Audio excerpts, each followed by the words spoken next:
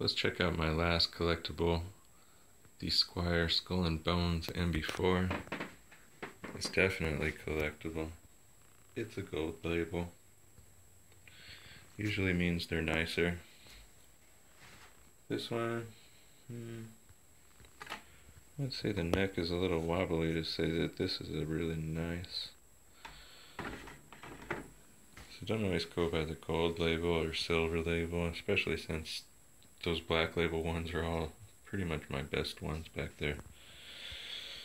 Um, does help for the collectability sometimes. People like the gold labels for collectability. But what makes this collectible is the 22 frets. Most of the time, you don't get those extra frets. These are really reachable. This one has less frets and you can't even reach them. You could see me playing some air harmonic thing down here on one of my solos. It's because I'm used to playing this guitar and having 22 frets helps you play the last position of the minor pentatonic. It helps you just have more notes.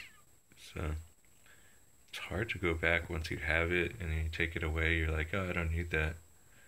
You'll be playing in the air. Um, pickups are kind of weird on this one. I was going to change it out, but if you really look at it, they're in the wrong direction. Look at this top one's to the left and this top one's to the right. So if I took a real P-bass pickup, it wouldn't fit in there. I'm thinking this is the correct one. Anyways, uh, the bridge isn't anything special. It's the same one they always use. Same one. And it's the 22 frets, dude. They just don't give you that. They won't give it to you on virtually any model. You have to get a made in Japan one from 93 to 98 or 96 or a Fender Aerodyne bass and that's going to cost you over a thousand dollars so this is your option for a 22 fret bass and it's really playable. It's nice. I love this guitar. The neck is made out of like several pieces. You can see, and that's usually a sign of a higher end instrument. It's so that they could create a neck angle, and it doesn't need to use uh, hardware to hold the strings at the correct angle.